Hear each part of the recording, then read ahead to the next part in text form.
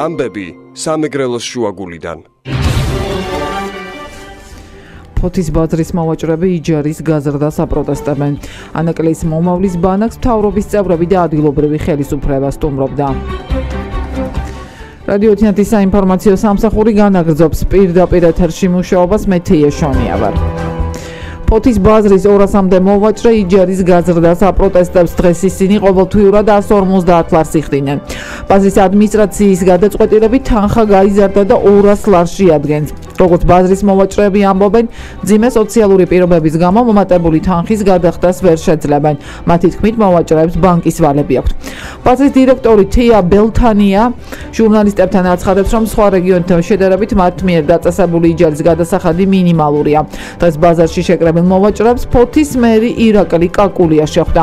მისი თქმით, ეს არის მოვაჭრეთა კერძო მესაკუთრეების შორის დავე, თუმცა მოლაპარაკებებზე მზაობა მერმა გამოთქვა. მომავლის ბანაკს ანაკრიაში სპორტისა და ახალგაზრდობის საქმეთა მინისტრი ტარიელ ხეჩიკაშვილი, გარემოსა და ბუნებრივი რესურსების დაცვის მინისტრი გიგლა აგულაშვილი, სამაგალოს ზემოსვანეთის გუბერნატორი ლევან შონია, ბავშვთა და ახალგაზრდობის ეროვნული ცენტრის ხელმძღვანელი გიგა გაბელაია და ადგილობრივი ხელისუფლების წარმომადგენლები ესტუმრნენ. გამართა საფეხბურთო მატჩი, სადაც ბანაკის მონაწილეებთან ერთად სტუმრებმაც ითამაშეს. მინისტრებმა მოზარდებთან სხვადასხვა აქტუალურ თემაზე ისაუბრეს და ათვალიერეს ბანაკის ინფრასტრუქტურა, ეს დღე მომავლის ბანაკში ოლიმპიადის გახსნის ღონისძიებას დაეთმო. ანაკრიაში მომავლის ბანაკი 6 სექტემბრამდე გაგრძელდება.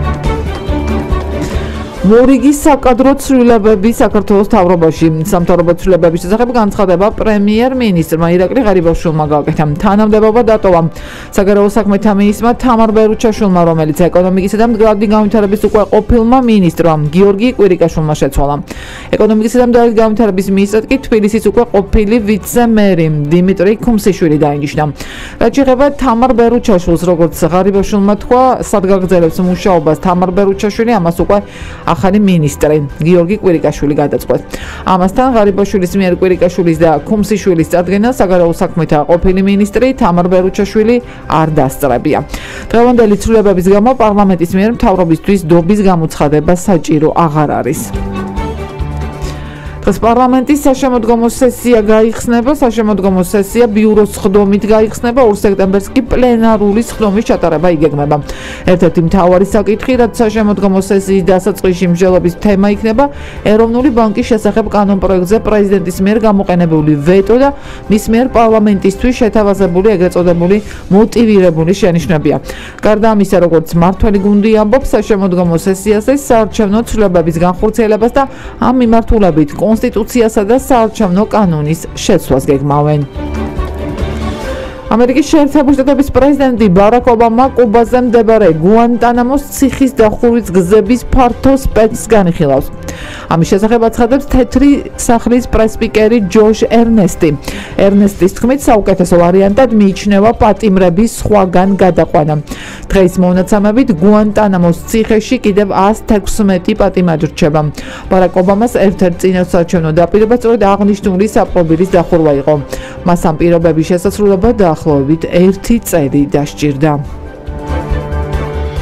2-დან 4 სექტემბრის ჩათვლით თბილისში საზღვარგარეთ საქართველოს დიპლომატიური წარმომადგენლობის ხელმძღვანელთა ყოველწლიური შეხვედრა ამბასადორიალი 2015 გამართება. 2 სექტემბერს ამბასადორიალი ოფიციალურად გაიხსნება ღონისძიების მონაწილეებს საქართველოს პრეზიდენტი გიორგი მარგველაშვილი, პრემიერ-მინისტრი და სხვა პირველი პირები დაესწრებიან. 3 და 4 სექტემბერს ამბასადორიალის სამუშაო სესიებში მონაწილეობას მიიღებენ საქართველოს აღმასრულებელი ხელისუფლების მაღალი თანამდებობის პირები და დიპ კორპუსის წარმომადგენლები. გამართება შეხვედრა არასამთავრობო სექტორის წარმომადგენლებთანაც. ახალი ამბები 12 საათზე თია შონიამ გაგაცანით დრობით.